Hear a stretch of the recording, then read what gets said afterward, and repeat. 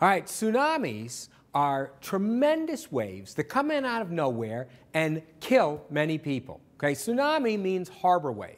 And the reason is, is because they don't show up until they're in the harbor. This is a Japanese word. Before that, we used to use words like tidal wave, but they really have no, nothing to do with tides, so we don't call them tidal waves anymore. They are tsunamis. The reason they are generated is because you have an uplift or downdrop of the seafloor. So what you wind up with then is a step on this, on this surface of the ocean. Well, if you've ever tried to make a step on the surface of any water, or any liquid for that matter, eh, you can't make a step, okay? And the, it immediately tries to smooth itself out. And the smoothing out is the tsunami. So that's all it is, is a smoothing out of the sea floor, of the sea surface because of this uplift that takes place on the ocean floor. That's a tsunami. Okay, now the tsunami, after we generate them by lifting up or dropping down the seafloor, and underwater landslides will also do the same thing. They'll make the sea up, you know, drop down or lift up. Oh, you can also get them out of volcanoes. Some exploding volcanoes like Krakatoa probably produced the biggest tsunami ever. They estimated a, a height of 230 feet, huge wave. That is where, those are the places where you can generate tsunamis. Well, once they're generated in the deep ocean, to start off with, they have kind of two ways they move.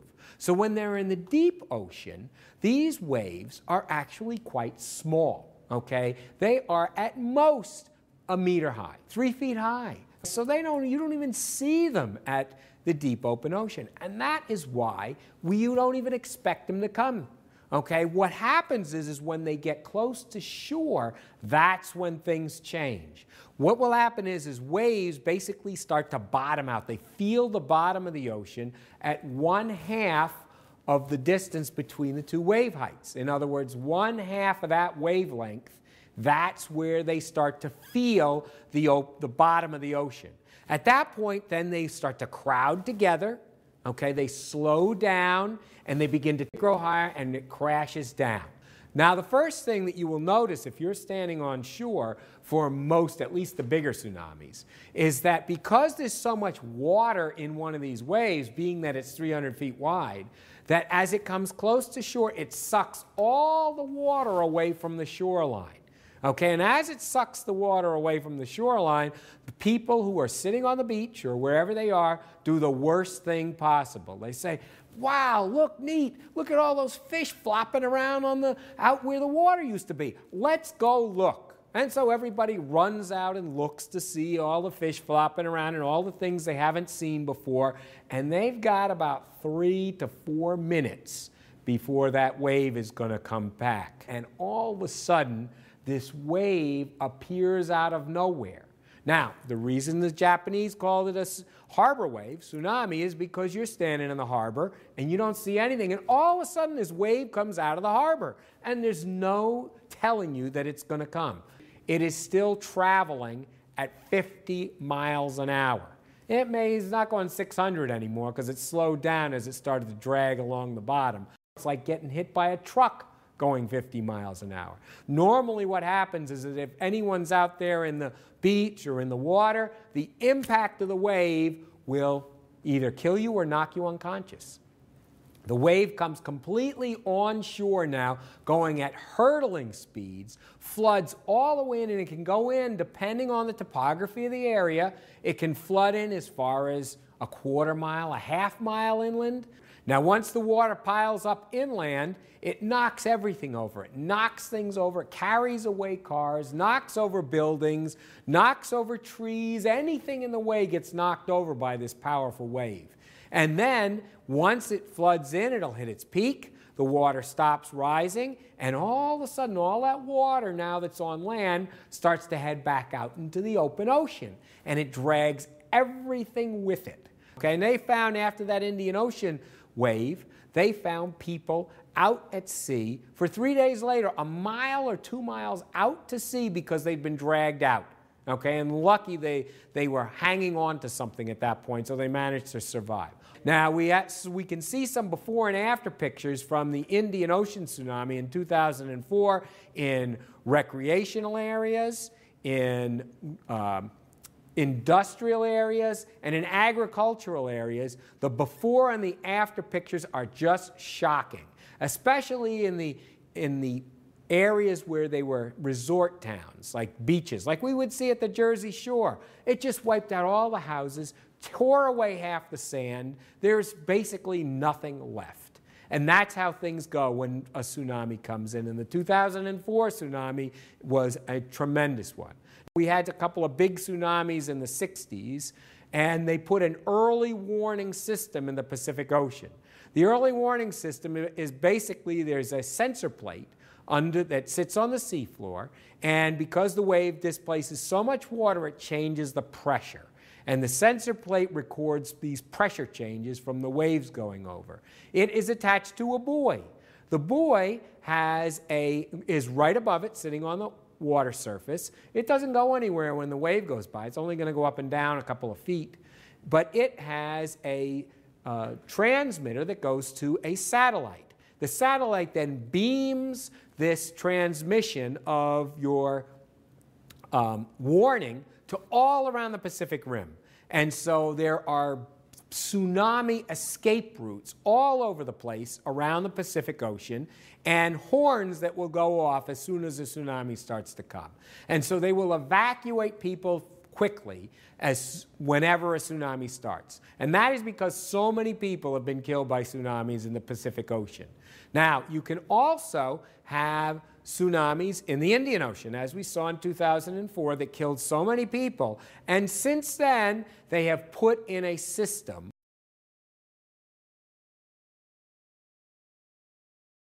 Okay, so here is what we have is a tsunami tank. Okay, this is a tank filled with water. Okay, you can see.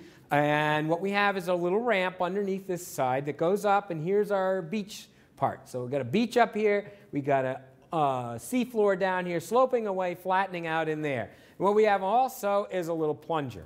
And what we're going to see is that we're going to generate waves by lifting the plunger straight up and down. So this has nothing to do with pushing things like you normally think how things splash. This is going to be by lifting up and down to create the wave. Okay, so let's take a look at how a wave would look when we generate it with the tsunami tank.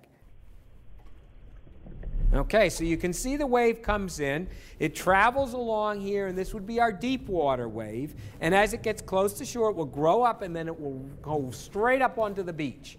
Okay, the amount that a wave runs up onto the beach is called the run up height. So you can measure a height here, that's the run up height for the wave. Okay, and that's one measure we can look at.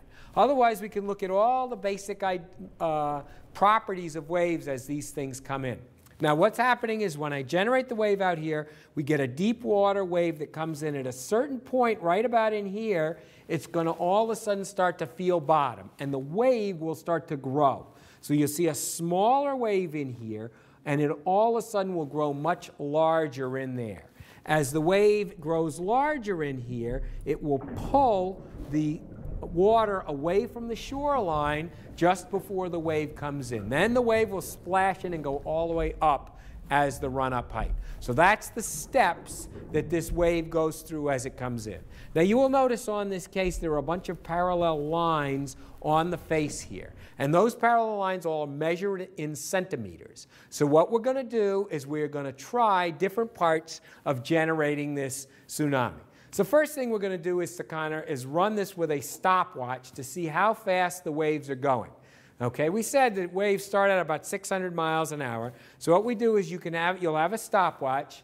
You'll press start when the when I generate the wave or when your teacher generates the wave, and when it reaches the far end of the tank, you press again, and that'll stop the stopwatch. And then we'll measure the length. Here there is a uh, scale on one side, and that tells you the length, the, you can divide the uh, length by time and get the speed. Okay, so you can take a look and you'll see. So here's what you would do. Then you would say, start, stop. Okay, and that's where you're, how fast you would measure your tsunami speed. Okay, and that tells you start to finish. So that's the first thing we can measure. We can get the velocity of our waves as they come across the tank. So you have to watch the height of the wave, the amplitude of the wave as it comes along, and we can measure the amplitude by looking at the centimeter scale for the waves as it comes along, and all of a sudden you'll notice the amplitude will increase. The spot at which the amplitude increases is means that's where the wave is feeling the bottom. Okay, and so what we want to do is we want to measure that height and double it, and that can get our, our wavelength for the, for the wave. We'll notice that on this one, the wave is occurring right about here. That's where the height is going up. And so what you'll want to do is you will take a Sharpie when the wave is generated and figure about right about where that is, where it's, where it's happening. And you can do it on both sides of the tank, and we can try it a couple of times. And you'll see again where the wave about is happening. And what we can do then is we can measure in centimeters from the height of the water all the way down to here and see how many centimeters that is. And then we can double that. And so once we see that, we know that real waves are about 300 feet in their wavelength.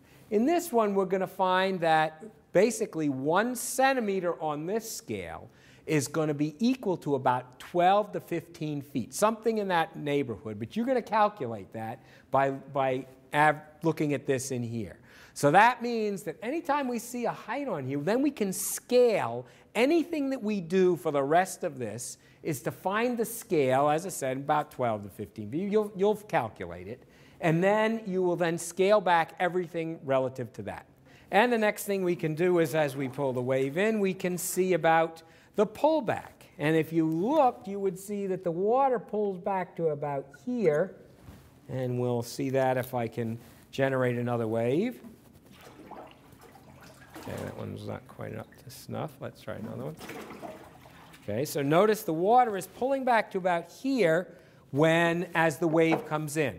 So this is basically your pullback. And so if we figure out in centimeters how far it is from our leading water to where, how far the wave pulls back to, we can then scale that and say, how many feet away from the shore is my water going to pull as the wave comes in? Next thing we can measure is to look at the height of the wave. Well, once it comes to shore, maybe the height comes something in like this, and we put a dot. And so then we can say, all right, from our normal height of water to what the height is in here, how, that, how many centimeters is that, and what's our scaling factor? And then we can decide how big that tsunami is when it comes to shore. Okay, the next thing we can look at is the run-up height. And that means how far up did that thing come before it topped out? So we put another dot there. We could be doing this on both sides. And that's our run-up height in here. And we then look at the difference between our regular sea level and how high that reached, and that gives us our run-up height. So you can do several measurements and calculations you'll see on your worksheet that go along with this. Now, as we said before, the tsunami is known as a harbor wave, and we've got it kind of coming in on a beach. So beaches and harbors are different stories. So what we can do is add a harbor, okay, and see what happens once the, once the waves enter the harbor. Okay. These waves are going to come in much bigger in the harbor. Okay, and look at the height that those things came in, all the way up to the top. So then we can remeasure all of what we just looked at. For example, the run-up height on the harbor is going to be much higher. The height of the wave coming in is going to be higher. Everything you will see will be much higher. Now, we should compare that to how high you are right now in your building. Would you get flooded if a tsunami came up the Passaic River? Maybe. Think about the height of your building.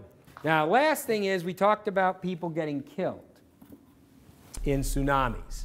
Okay, and so how do they get killed? Well, as we said, they get battered and then they get swept out to sea. So let's take a look. If we put a couple of soldiers on here, they just happen to be stationed in the wrong place at the wrong time, and we have a tsunami come in. Huh? See, so what happens to them? They get smashed against the back of the tank and dragged out into deep water, which is what we said. That's exactly what would happen if you generate, if they wind up in a tsunami. This is how a tsunami, and these are how all the factors that you can measure, and you'll be measuring on both sides, generating those tsunami waves, figuring out how big or small things are relative to you in real life. You'll see some of these waves are quite large, and could imagine if they're coming in, it would be pretty scary. And anyway, that's how things will put together as far as a tsunami goes.